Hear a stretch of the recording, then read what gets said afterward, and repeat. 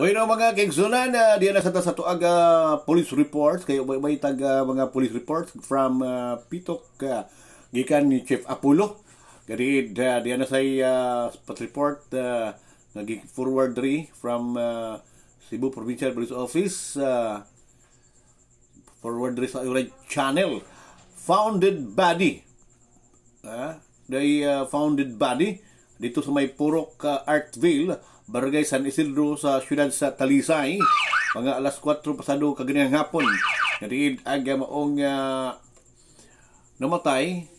Mo kining usa ka Alan Ilbaba Australian national.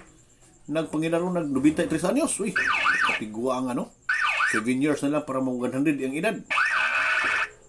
How matud pa nga diid uh, usa ka Anisita Kaiban ang nakadungog og uh, Tiabaw, hilak sa usa ka bata nga 4 anyos nga ha, laki ni uh, Company of the Disos sa pakuyog ini nga mao nga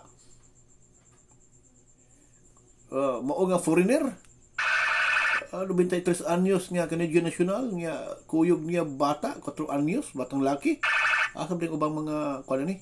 Asa din gidikanan o inahan? Amahan ba ini nga bata nga 4 anyos mga ignoran So hinungdan nga gisusi dito o nga dito ang mao nga foreigner wa nay kinabuhi. Hinungdan nga padayon na hangtod karon ang pag-imbestigar kung wa may foul play ang kamatayon ni maong foreigner. O uh, matud pa sa mga silinganan o po sila makadungog uh, o uh, komosyon nga tusod sa maong nga bahay sa maong uh, Canadian National. Apan ang dakong pangutana ni mga igsoon no? Uh, kung uh, kisay dugang pangakuyog ining mao nga lubita 3 anyos nga Canadian national. Kaniro mga 4 anyos nga batang lalaki? Asa naman ang uban no? Ang gikanan nimo ang bata.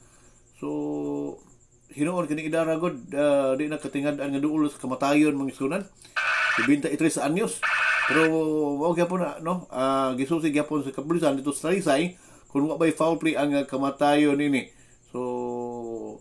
But report to follow. So, sketchy report ni atong uh, gikuptan karon magsunan may tungod ning uh, found dead, dead uh, body o found uh, dead person sa Purok Artville Barangay San Isidro Ciudad Talisay alas 4 pasado kaganing hapon us to ang uh, pangaan ning mao nga namatay a certain Alan El Baba Australian national around 93 years old. Uh, Bueno kini inyo ubos nga lagad si Oiran Ligdar Hill mag-ingon mag-ampot ta mag-ampings kanunay. Bye-bye. I love you all.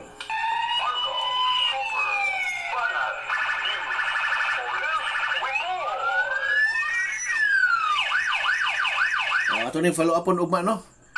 Ah, uh, maingi ikulot ang nawag ron kay uh, aha, alas uh, just uh, 50 na kagabion.